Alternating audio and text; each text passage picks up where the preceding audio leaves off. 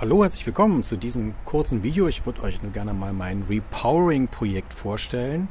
Ihr seht hier, da haben wir noch ein paar Reste. Also wir haben am Wochenende unser Schuppenkraftwerk sozusagen ähm, repowered. Und ihr seht schon da oben, da sind Module und zwar ist hier eins. Ich gehe mal hier rum, zeige euch das mal. Das zeigt so Richtung Westen, sehr flach, verschmutzt auch, ja, muss man auch regelmäßig sauber machen unten am Rand. Das ist mit Stockschrauben befestigt.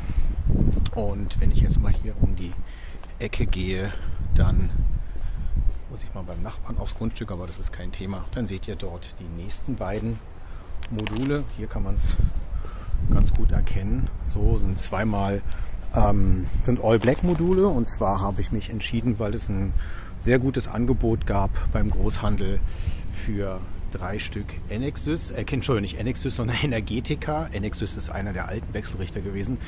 Ähm, dreimal Energetica 370 Watt zusammen für 120 Euro geschossen und die sind in Reihe geschaltet. Unter jedem Modul ist ein Optimierer.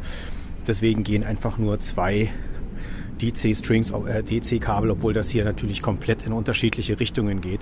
Ähm, rein und da drin grün, da seht ihr auch schon den kleinen Growatt-Wechselrichter, der arbeitet. Ja, und das sind so knappe 100 Watt, die da aktuell erzeugt werden. Ja, das Ganze war relativ schnell und einfach zu machen.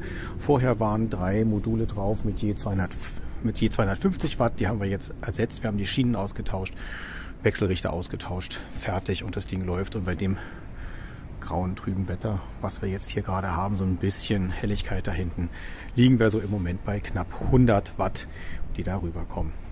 Jo, das wollte ich euch mal kurz gezeigt haben. Kleines, schnelles Projekt. Bin sehr zufrieden. Das war's. Vielen Dank fürs Zugucken.